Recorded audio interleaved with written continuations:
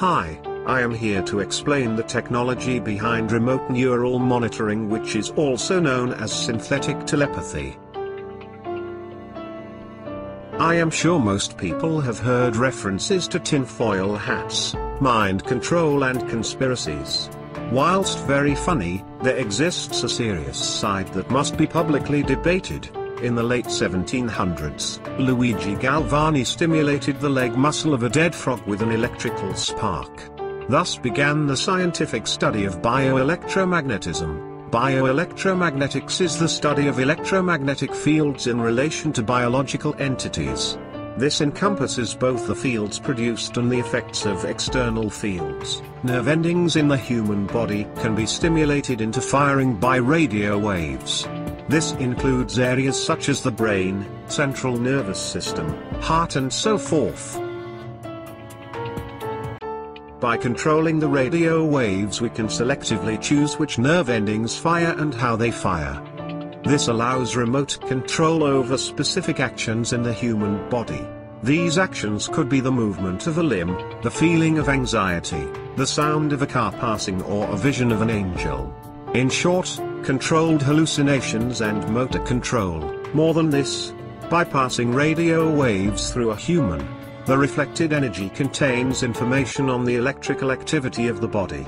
This can be decoded by computer. This decoded information includes what you are thinking, seeing, hearing, feeling and doing. It also exposes the structure of how these processes work within the brain. The Central Intelligence Agency was quick to see the benefits of reading the mind of its enemy and the potential of controlling them was a bonus.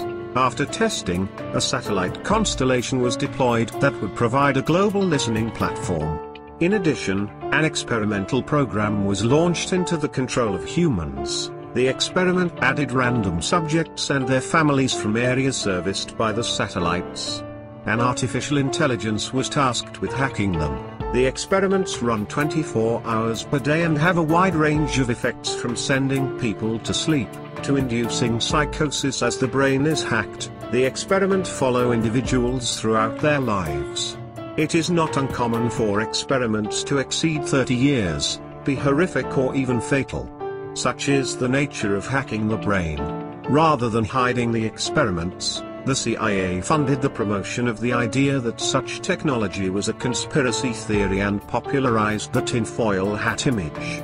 As the system could induce mental illness and such claims are typical of mental disease, victims were ignored by medical professionals and media outlets. Research in the area was classified and restricted from publication in scientific journals. This allowed the experiments to expand freely. Today, the majority of those being experimented on were small children when they were first attacked. They have spent their lives partially merged with an artificial intelligence. These experimental subjects are the world's first generation that can be described as transhuman. We have come to the end of this short presentation. But before I go I would like to point out that governments can defend against this technology, the problem is that civilians cannot. As such, they are the intended targets in the long run. Human nature would not allow this to develop any other way, thus, everyone must make their opposition known now before this system is in a position to threaten our nations. It is time to use your voice. Thanks for your time.